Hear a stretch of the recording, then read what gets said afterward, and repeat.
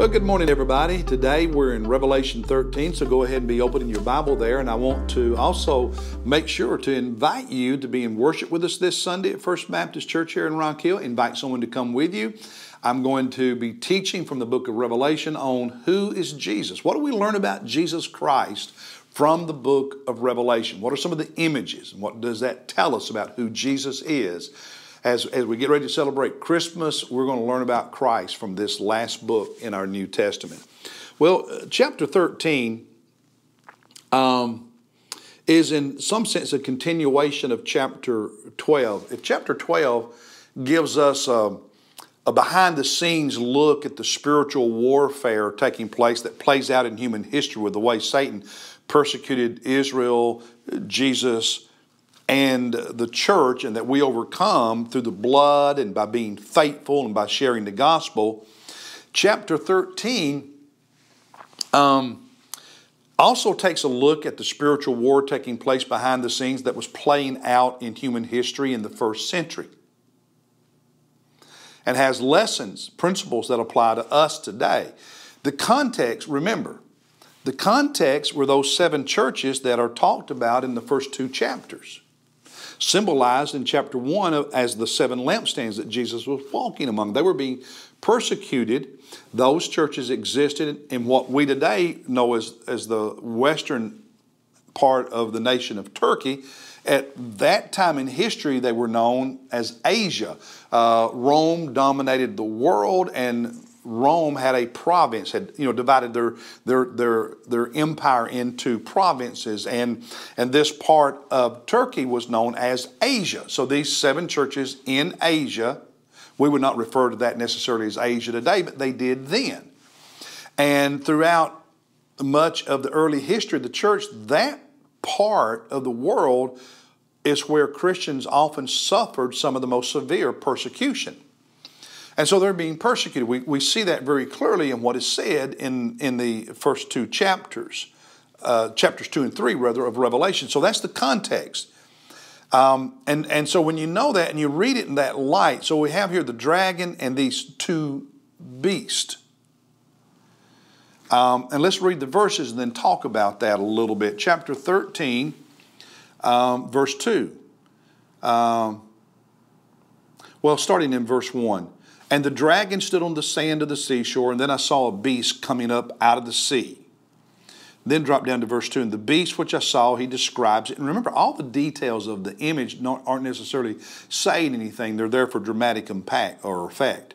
At the end of verse 2, and the dragon, mentioned in verse 1, gave him, the beast, mentioned in the middle of verse 1. So the dragon gives to the beast his power, his throne, and great authority.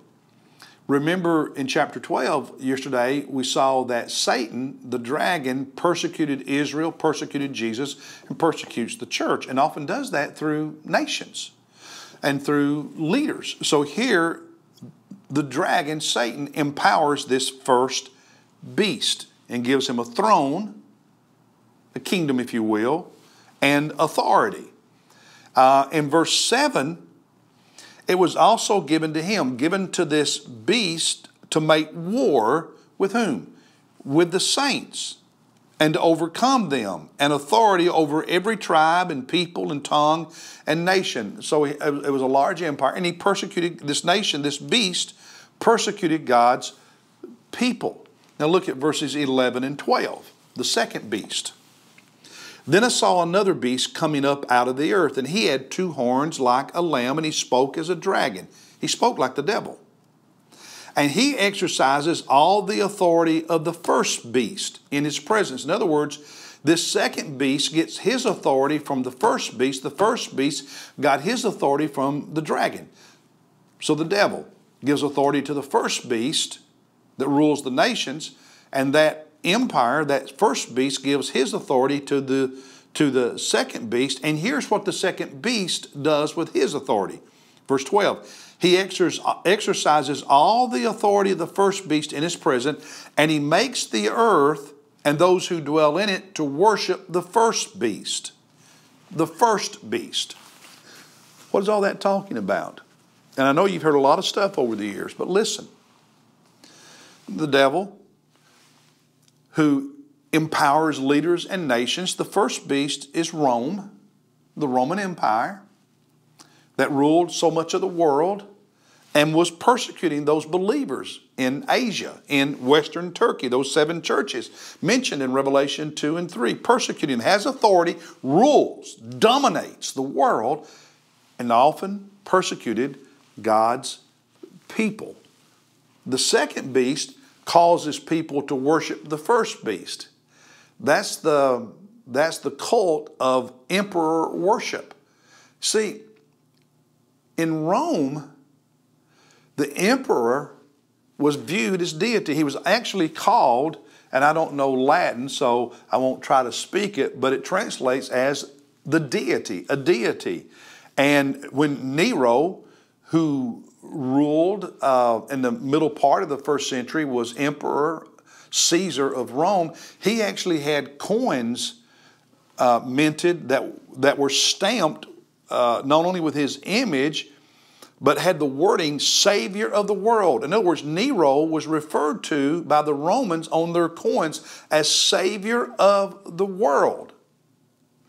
And, and, and Christians, actually everybody, it was demanded at times that they would pay homage to, that they would worship Caesar the Roman emperor, the emperor of the empire. And so this, this, this cult of emperor worship is the second beast. Um, the uh, Emperor Domitian, who ruled later in the first century and led some of the most severe persecution of Christians in Asia, um, was addressed, and this is the English translation of that Latin phrase, he, this, this emperor was ad, addressed as our Lord and God. Our Lord and God. Now, to Christians, to say that about an emperor would have been blasphemous. It's one of the reasons they were persecuted. We, we have so many, we, we have these stories, these accounts of Christians in the first century and second century who were martyred for their faith because they would not pay homage to, they would not worship the Roman emperor, the Caesar, the, the religion of the Roman Empire that said you can worship anybody you want to, but you have to also worship Caesar, the emperor, who represented the Roman Empire. And Christians would not do that, and they died as a result. Now, we have in this chapter the mark of the beast the 666. I want you to remember something. Earlier in Revelation, back in chapter 7, I believe it's verse 3, God made certain that the angels marked on the foreheads His people before you ever get to the beast.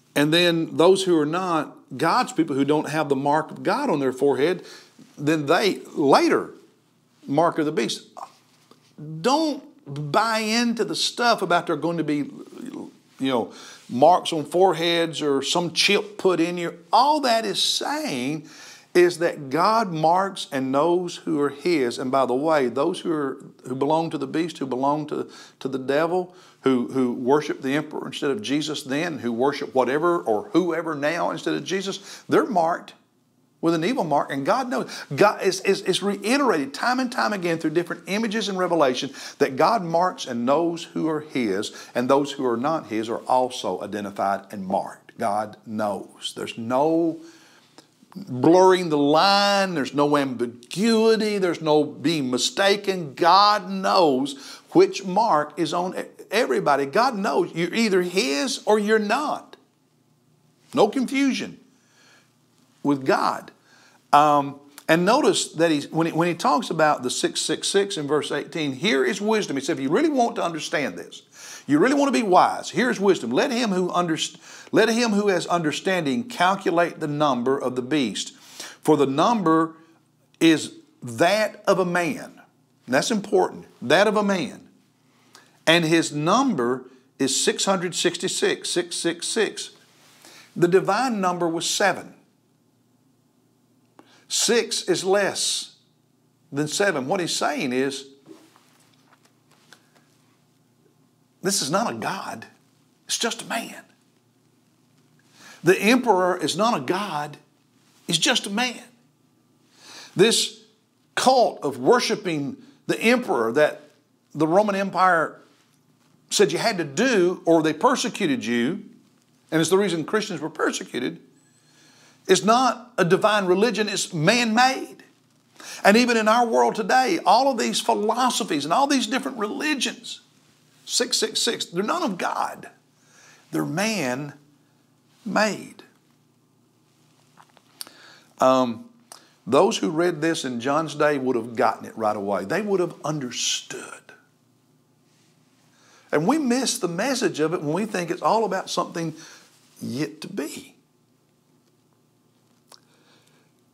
Teaching, the truth, the principles, the lessons for us is whatever empire rises,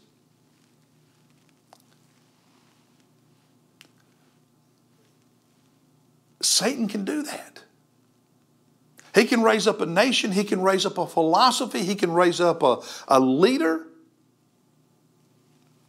And, and, and we saw in the previous chapter that his purpose is to deceive. And deceive people, even deceive God's people if they don't stay faithful to Jesus, to the blood of Jesus, and to the testimony of Jesus, and, and, and to the gospel of Jesus Christ.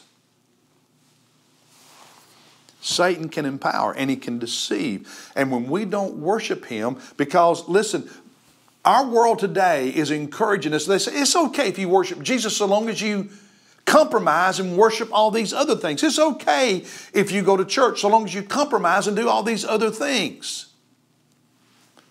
The Romans didn't care if they worshiped Jesus so long as they also worshiped the emperor. And Satan still today is at work trying to get people to walk away from Jesus or to kind of marry Jesus with everything else. And um, doesn't work. Doesn't work. God's people, this will be my last comment, chapter, 10, uh, chapter 13, verse 10, at the verse, very end of it. Here is the perseverance and the faith of the saints. We keep the faith and we persevere. We keep the faith and we don't ever quit. And if we have godly wisdom, that's what we do.